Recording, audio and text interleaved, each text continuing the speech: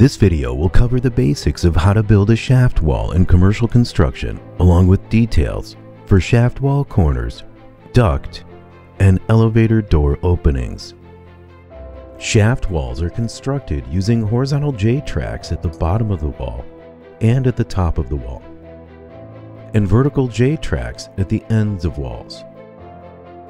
A shaft liner panel is then set between the tracks, and a CT, CH, or I stud is slid over the shaft liner panel. The installation of studs and shaft liner panels are then alternated, friction fitting in place with no fasteners required. A typical installation begins by fastening horizontal J-tracks to the top and to the bottom of the wall with appropriate fasteners spaced 24 inches on center. Install a vertical J-track with a 3 8 inch pen head screw at each corner.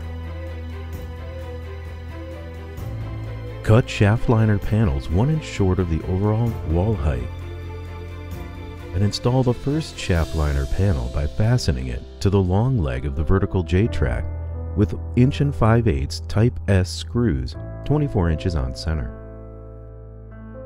Place CT, CH, or I studs within the top and bottom tracks and slide over the shaft liner panel. Slide the next shaft liner panel between the tabs and flanges of the stud. The tabs and flanges of the shaft wall studs will provide a friction fit for the shaft liner panels requiring no fasteners. Install another stud over the shaft liner and continue until the end of the wall. Maintain a stud spacing of 24 inches on center to ensure the shaft liner is fully inserted into the studs. For wall heights that exceed the length of the shaft liner panels, locate horizontal butt joints within the upper and lower thirds of the wall. Stagger joints in adjacent panels to avoid a continuous joint. Butt joints do not require taping, framing, or firestop sealant. Terminate the shaft wall with a vertical J-track fastened to the horizontal J-tracks with penhead screws.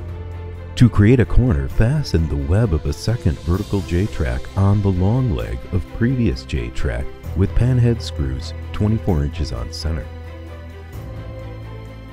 Frame all duct openings with J-track to protect cut gypsum core edges and to provide resistance to bending and other stresses. At elevator door openings, place elevator door jamb sections of J-track and J-track headers. Install the face layer of 5 8 inch Type X gypsum board, one layer for 1 hour UL fire rated assemblies, and two layers for 2 hour UL fire rated assemblies. Stagger vertical and horizontal joints.